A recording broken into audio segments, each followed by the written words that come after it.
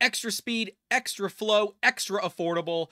E3D high flow ObXidian for Bambu with warranty coverage. Let's talk about it.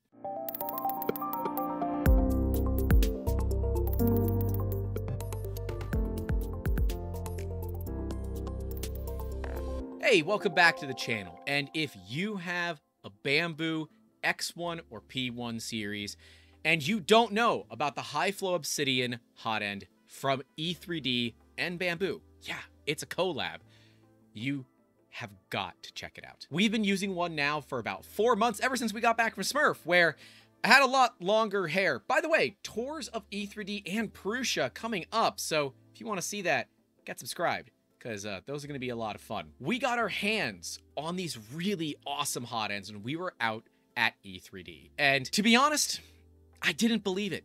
E3D is claiming upwards of 60% more volumetric flow than stock, which for a stock Bambu is about 12 cubic millimeters a second. We have thoroughly tested it now, and I can comfortably say that 60% is actually low. We are comfortably pushing 30 to 35 cubic millimeters per second out of this insane hot end, and for all less than 100 US dollars. If you care about print speed. Let's say you're running a small business where you're trying to sell a lot of things fast, right? Stuff for Etsy, stuff for local events, nothing proprietary because it's a Bambu after all. If you're going for speed for less than a hundred bucks to cut significant amounts of times off of your parts, that's a big deal. By utilizing the license that they have from 3Solex for the patent, you know, that we all know is the CHT from Bondtech, they implemented it inside of a Bambu hot end. And even better, you still maintain your factory warranty. Yes, this is a collab. So if you buy this from E3D, a third party, Bambu will still support you and assist you in having anything that might go wrong with this. That is what collaboration is all about in this industry. And remember, E3D is no slouch. They've been making high flow nozzles for a while, including their Revo ObXidian High Flow all the way up to 1.4 millimeters, which we covered the non-abrasive ones in a recent video. We'll card to it so you guys can take a look. And, uh, oh yeah, crazy price reduction on the Revos. If you want us to do a roundup of that, let me know, because that one might be a nice little video to talk about the price reduction and, well, what that means for users out there. But if you have a Bambu, this to me is one of the cheapest and easiest upgrades that you can make without violating your warranty or upsetting Bambu or even further upsetting the Bambu fanboys. This is still a allowable thing with the company, which is awesome. So we can see that it utilizes the high flow system, which allows you to bump up your volumetric flow rate. By splitting the filament into multiple channels, you get more heat where it matters more fast faster, which allows you to print, well, at higher speeds. Traditionally speaking, the Bambu with generic PLA cannot actually top out the motion system. You need to either run hotter so you can increase your volumetric flow rate, or, I don't know, run a bigger nozzle. But with this E3D nozzle, we've been able to easily, easily hit 30 to 35 cubic millimeters a second, up from the stock 12 the generic PLA. And it translates to real world numbers. Take a look at this Apex model made by Elegant Marble Machines, available via the links down below. We can see that stock settings are reasonably stock. This one's a slightly tuned profile, but you get it. 8 hours and 48 minutes to get it done. This is our high flow profile, which all that we've done is increase volumetric flow rate from 12 to 30. And that's conservative. We can go 35 pretty reliably. And we are losing over an hour of print time here. That is a big deal if you want to print lots of stuff fast. Bambus are known for their speed, and in some cases reliability, not in mine, but you know, that's another story. We'll card to that video if you want. Most of you have probably seen it by now. I will say that I've had minimal issues with this nozzle. Now, something to note, because of the way that this nozzle works, at the 0.4 size, glitter filament. Not filament that needs abrasive nozzles, but filament that is glittery, like a Galaxy, can have a tendency to clog it. And clogs in nozzles like this can be a nightmare to clear. So if you like printing a lot of glittery filaments, we would recommend going up to the 0.6 to be a little safer. And when we were touring E3D, we actually got to see how these were made. I don't believe we'll be able to show that to you guys at this time. We still have to finish editing that video and then get it approved because we definitely saw things that we can't show on camera. Eh?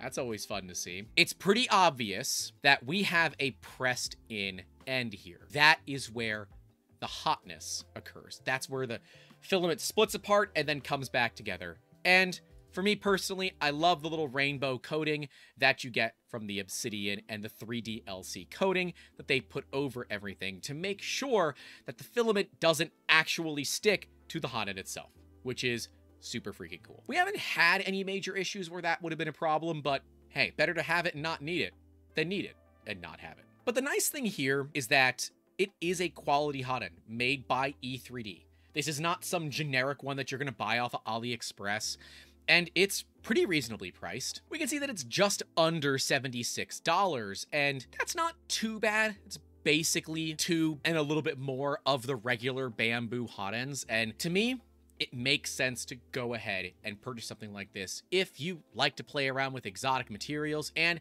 if you like to go fast. I want to go fast. We traditionally don't print TPU very quickly, but I had some fun. We were able to actually easily print TPU upwards of 20 cubic millimeters a second. Now, you can't run it through an AMS, you gotta run it through the, the back PTFE tubing, but the high flow ObXidian Bambu hot end from E3D works phenomenally for pretty much everything that we have thrown at it. And I wanted to talk about this earlier because it came out a while ago and they've been historically pretty much impossible to get. They sell out very, very quickly. Uh, we like to test things for at least three months before we really review them. And after extensive testing, I can confidently say that as long as you don't slam this nozzle into the print and bend it at the heat break, this could very well be the last hot end that you'll ever need for your Bambu. And certainly, if time is of the essence for you, 60 pounds or 76 US dollars is nothing when it comes to what it would take to have all that extra time add up and add up and add up. I will say, we haven't played around with going much faster. If we go above 35, we start to actually hit speed limits of the machine, where if we don't bump up the speed, that's it. We're, we're kind of capping ourselves on the speed. But I would like to, and if you guys want to see how fast we can push a Bambu, let me know in those comments, because I kind of want to try, but I'm also very afraid of what we're going to break. Speaking of, we're almost done with our Voron Trident build. It's been, um, it's been interesting, and we are going to be putting a Revo on it, the Revo Voron edition, of course. And yes, we are going to see at some point what's faster, a Bambu or a Voron. So stay tuned if that's something that you guys would like to see. It'll happen sometime after Rocky Mountain because Rocky Mountain RepRap Fest is coming up and we will be there. So if you guys do want to come say hey when we're at Rocky Mountain, come and find us. We'll be walking around filming with some of your favorite companies, ones you may have heard of and ones you probably haven't. And certainly we will be seeing E3D there as well. And hey, maybe they'll have something cool that they'll be announcing there too. I don't know. This is a cheap upgrade. And when we look at upgrades these days for 3D printers, it often comes with some sort of trade-off right? It's going to ruin your warranty. It's not officially supported. You could put Klipper on printers and make them go much faster, but then you're kind of on your own, right? You're you're you're venturing into a land of unknowns. This is none of that. Literally take apart your hot end, you put this on. It even comes with a brand new silicone sock, so it's really simple to do. And then you just increase your flow rate from 12 to 30 and send it. We've seen no issues. And in fact, on materials like ASA, we've been pushing 40 to 45 cubic millimeters a second with no problems. That's actually where we found that we were running into speed limits on the machine and we started kicking up the speeds just a little bit. But certainly when you go really fast on Bambus, they get very noisy. Just be aware of that. With speed does come, you know, a slight drawback of extra noise. But I'd like to know in those comments, will you be getting this nozzle? Are you looking at getting this nozzle? It would be a great little upgrade, and certainly if there's a maker in your life or you're looking to treat yourself, it's less than 100 bucks to go quite a bit faster. I think it's pretty awesome. And certainly for parts like this, where they're very, very intricate, time you can get back. And I don't believe that you would see any discernible difference in print quality. We have never noticed a degradation in print quality. In fact, I find that this nozzle is more reliable, especially when printing abrasives, than Bambu's own hot end. Why? I have no clue. Is it just correlation doesn't equal causation? I don't know. We've had far less, far less clogging issues with this high flow ObXidian than we have with the stock Bambu hot end.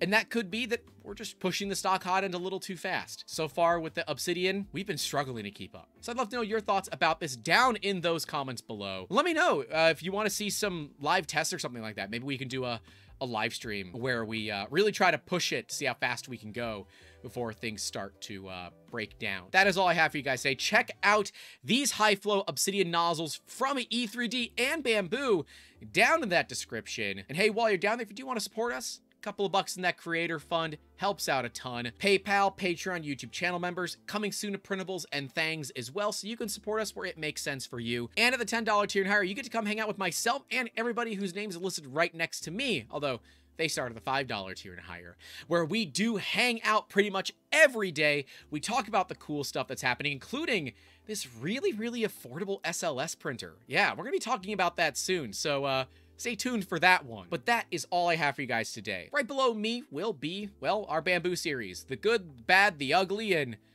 the really ugly. And right next to that will be our Voron stream. So if you want to take a look to see what a Voron moron can do, maybe you'll enjoy it. I think you will.